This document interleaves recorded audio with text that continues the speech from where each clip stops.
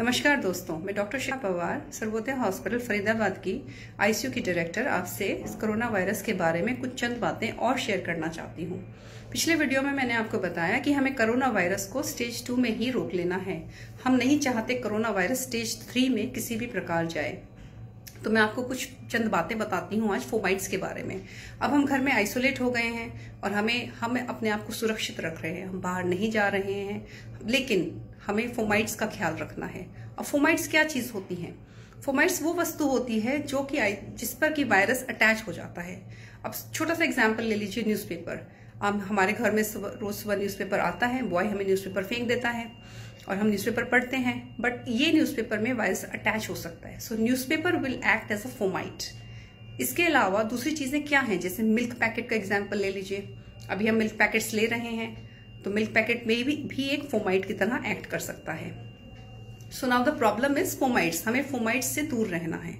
हमें अपने घर में फोमाइट्स की एंट्री नहीं करनी है।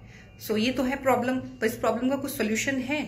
यस yes, जैसे मिल्क पैकेट्स हैं तो आप उनको रनिंग वाटर में डिटर्जेंट के साथ वॉश कर सकते हैं। उसके बाद आप उन्हें इस्तेमाल कर सकते हैं। आप बाहर से कुछ और सामान आपने मंगाया है तो अगर वो सामान खराब होने वाला नहीं है तो उसको कार्टन को वहीं छोड़ दीजिए। सो एटलीस्ट ऐसा करने से 12 से 24 घंटे बाद वायरस खुद ही उसमें मर जाएगा। फिर आप उसको इस्तेमाल कर सकते हैं। कुछ चंद और बातें हैं। मैं अभी भी देख रही हूँ लोग बाहर घूम रहे हैं ग्रोसरी की शॉपिंग कर रहे हैं। तो ये सब चीज़ें हम पंद्रह दिन के लिए रोक सकते हैं। हमें ये सब चीज़ें रोकनी होंगी। अगर हम ये नहीं रोकेंगे तो हम एट रिस्क हैं। और अगर आप बाहर जा ही रहे हैं, आपको लग रहा है कि ये असेंशियल काम है, इसके बिना आपका काम नहीं होगा, और आपको जाना ही है तो सिचुएशन में आप क्या करेंगे?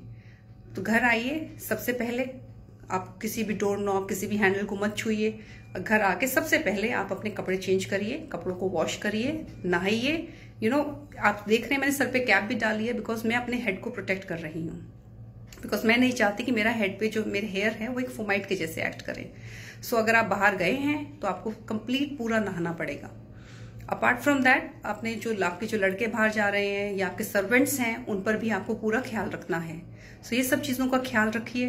Stay safe stay home avoid fomites fomites are the things now which you have to take care घर पे रहते हुए हमें फोमाइट से दूर रहना है। नमस्कार।